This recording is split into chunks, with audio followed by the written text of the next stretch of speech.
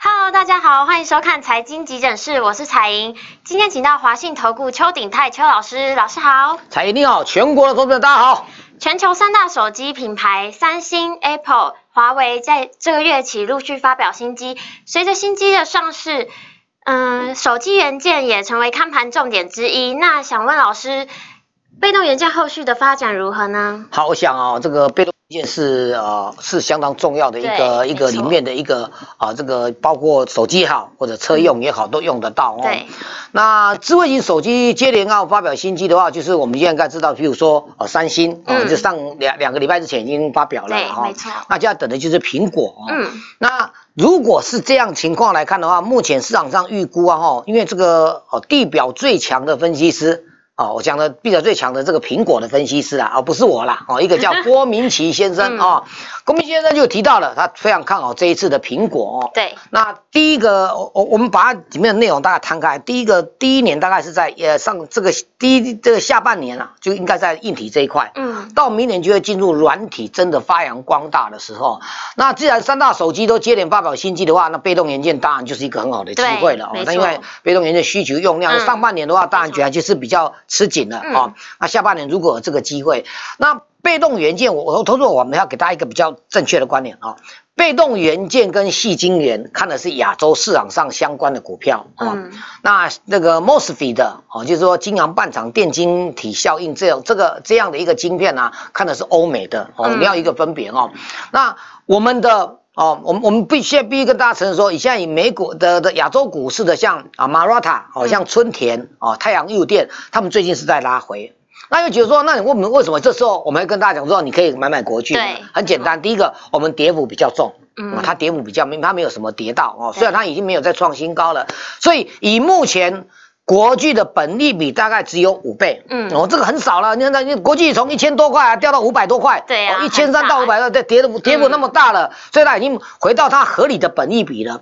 所以我们最近看到外资的心态是，哎，偷偷的在买啊，那是不是布局的好机会？当然机不可失，对呀。但是我不敢跟大家讲说会不会像啊国巨再来一千三百多块，我这块我们刚刚讲了，因为它可能反弹，也不敢保证，对。但是你可以反弹个两三成，我认为机会还蛮大的。我们现在来看一下。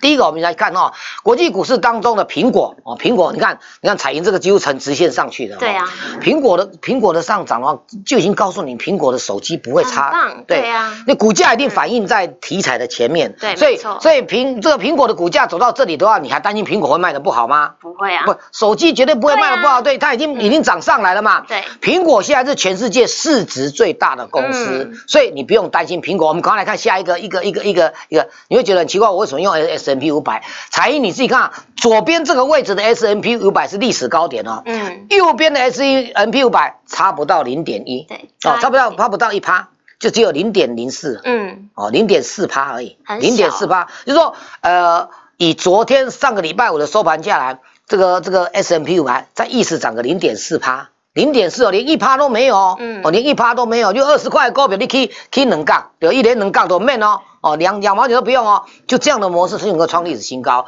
那这一些都跟苹果息息相关，有关系。所以国际股市啊，大家一直在想说，像今天台北股市啊，彩英今天闹了个笑话，一大早那成交量几乎没有，大家都忘了，投资们都跑去睡觉了，对不对？那为什么担心？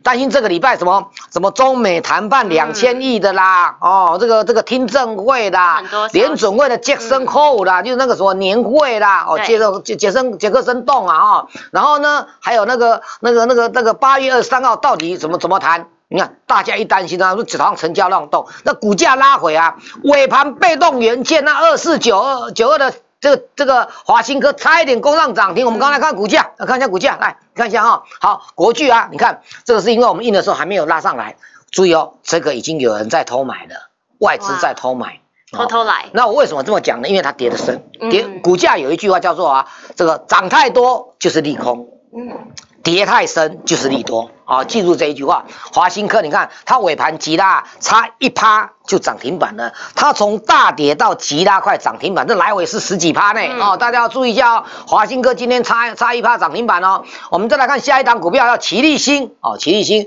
今天念这个四档股票嘛，大家被动元件四天王哦，一个啊国巨啊啊这个华兴科啦，奇力新加档就什么叫做和生堂嘛，和生堂就是一样，和生堂就股价就慢慢就攻上来了，所以这也是我跟大家讲说，你到这个时间点你不用担心哦，方哥啊哦，明天开始你一定要注意被。动元件的走势，因为今天真的很惨，是一个另一个主题叫做细晶圆，对，那六四八八那都杀到跌停哦，那大家一定很感觉很失望。那我也跟，因为因为我我我今年以来都不推荐细晶圆啊，因为我觉得那个筹码是真的很乱。但是我认为被动元件已经低档不多了啊，至于会反弹到哪里我不知道。那我最看好的是 mosfet 的概念。那我认为明天呢，被动元件的国际如果再冲一波的话，整个涨价题材高。概念股就见低了，那刚好今天的成交量是在是说它一千多以内，反而是低档买股票的好时机，提供大家做一个参考。好，想知道更多资讯，欢迎加入老师的 Light 财经急诊室，我们下次见，拜拜，拜拜。